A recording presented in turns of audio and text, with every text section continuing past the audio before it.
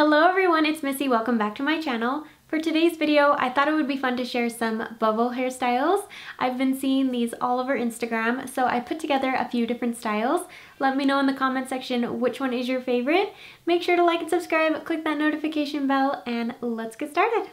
The first hairstyle that I decided to do is the low ponytail and since all of the cool kids are doing center parts now, I'm going to do a center part but I'm actually going to cheat and place mine a little bit off center. This is a little more flattering for my particular face shape. And then I'm going to divide out some hair from around my face just to help frame it and this will soften the style and just help keep it a little bit more casual. So then I'm going to combine the rest of my hair together at the nape of my neck and tie it off using a hairband. You could make this a really sleek style and use gel to help smooth down the hair at the crown. I like having some volume in my styles, so I'm just going to pinch and pull on small pieces of hair to help add some height to the top of my ponytail. Next, I'm going to take this little topsy tail tool and slide it through the hairband until it stops at the looped section at the top. And this is such a cool trick. I should have been doing this the whole time, but I'm going to divide off a small piece of hair from my ponytail and then wrap it around the hairband a couple of times. Then what I'm going to do is wrap this little end through the looped part of the tool and then hold it down so it doesn't flip back through. And I'm going to pull the tool the rest of the way down through the hairband. And this will pull these ends of the wrapped piece underneath the hairband so it'll stay in place and you won't need to use any bobby pins. It's so cool. I absolutely love it. So now I'm going to continue the bubble portion of the ponytail. So I'm just going to grab a clear elastic band and wrap it over the ponytail a few inches down from the first hairband. You can put it really close or a little bit farther away. It will just make the bubble sections really small or bigger depending on the look that you want to go for. And then to help the little bubble section show up better, I'm going to pinch the hair and pull it out of the elastic just a little bit. This will make it fuller and bigger so it'll, it will show up better. And then I'm going to cover the elastic with another small section of hair. So I'm using the little tool again. So I'm going to slide the tool under the elastic and then divide off a small piece of hair and wrap it around the elastic band. Then holding the end, I'm going to bring this through the loop and then I'm just going to continue pulling the tool down so it slides through the elastic and pulls the little ends underneath the elastic so they stay in place. For my particular length of hair, I decided to do three total bubble sections. So I'm just going to repeat those same steps twice more, wrapping a clear elastic band a few inches down from the one above it, and then pull on small sections of hair in between the elastics to make the bubble sections fuller. And then I'm just going to wrap a small piece of hair around the elastic band to help cover it up. And each time I did use the topsy tail tool, you don't need to cover the elastics. In fact, it's easier not to. And you can definitely use a bobby pin or another elastic if that's easier too. I've done this technique on multiple hairstyles and this works really well. So that's another alternative. The second hairstyle is a half up version and I'm going to start with my hair parted on the left side. You can really part it wherever you prefer. Then I'm going to divide out the hair that I'll be using for the style. So starting at my ears, I'm going to draw a line up towards the crown of my head and then I'm going to divide out some hair to frame my face like usual just to help soften the look. I really like doing this.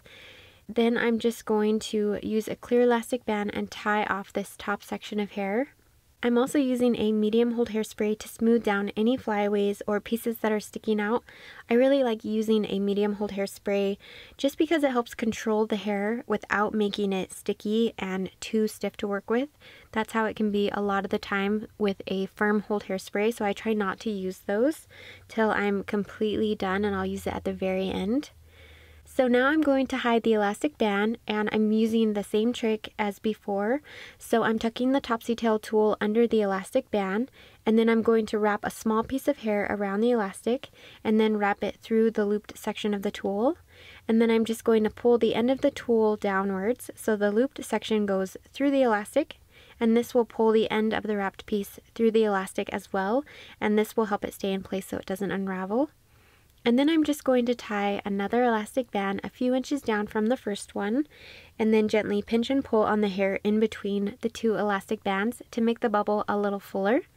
And then I'm going to wrap another section of hair around the elastic band again using the Topsy Tail tool to secure it in place. And now I'm going to repeat the same steps as before and create one more bubble section of the hairstyle. Depending on the length of your hair and how big you want your bubble sections to be, you can create more or less for a different type of vibe. I only created two for this particular half up version, but I also think it would have looked so cute with three smaller bubble sections as well. The third hairstyle is a mohawk version, so for this style, I'm going to start by brushing my hair straight back from my forehead. Then I'm going to divide off my first section, so I'm going to place my hands above both of my ears and then draw a line straight up towards the top of my head. I have a lot of little broken baby hairs, so I'm going to use my medium hold hairspray again and make sure to brush through this section just to help smooth it down and keep the hairstyle a little bit cleaner. Then using another clear elastic band, I'm going to tie off this section right at the top of my head and I decided not to cover the elastic bands on this particular style, so I'm going to move right into dividing off my next section of hair. So starting above my ears again, I'm going to draw another line up towards the crown of my head, kind of at a diagonal this time, so I'm creating kind of a triangle shape, but I want to make sure the section stays only a few inches away from the first elastic band, just so my bubble sections stay about the same size. And I am going to smooth down the section with my comb and then just tie it off with another elastic band. And now I'm going to make the bubble section a little bigger like usual. And when doing this part, it's important to only pull on the hair that is coming from the first elastic band. If you pull on all of the hair, then the hair coming into the elastic from the sides of the head can get too loose and it will kind of bump out a little bit. So make sure that it's just the hair coming from the first elastic and then once that's done and I like the size of my bubble, I'm going to divide off the next section of hair. So starting at the ears again, I'm going to create another diagonal line up towards the back of my head this time, a few inches down from the elastic above it, and then tie off this new section. Then I'm going to go back over the hair in between the two elastics, of course, and carefully pinch and pull on the hair to make the bubble fuller. When I was doing this, I wanted to make sure that the bubbles stayed the same size each time. So I'm just going to make sure to look at the first bubble as I'm pulling on the second bubble to make sure that it doesn't get bigger. Of course, it could look really cool if you did decide to have them get gradually larger as you go. Now I'm going to combine the remaining hair left over and tie it all together into one final ponytail at the nape of my neck. And then I'm going to pinch and pull on the hair like before and make the bubble section bigger so it'll be the same size as the previous two sections. And at this point, I decided to stop creating bubble sections so the hair would be in a cool mohawk style ponytail. You could do more or less if you wanted depending on the look you were going for.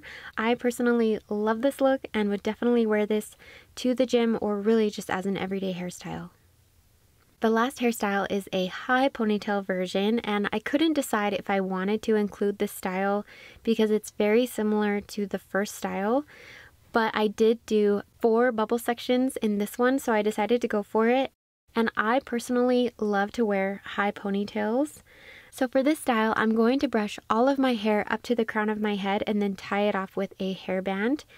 I decided not to cover the hair bands again on this style, so I'm just going to continue tying elastic bands down the length of my ponytail, a few inches apart from each other, and then of course pull on the hair in between to help make the bubble sections fuller. I really liked the way this looked, but once I was done, I didn't really think about the fact that the top hairband was black and all the other ones were clear, which kind of bothered me.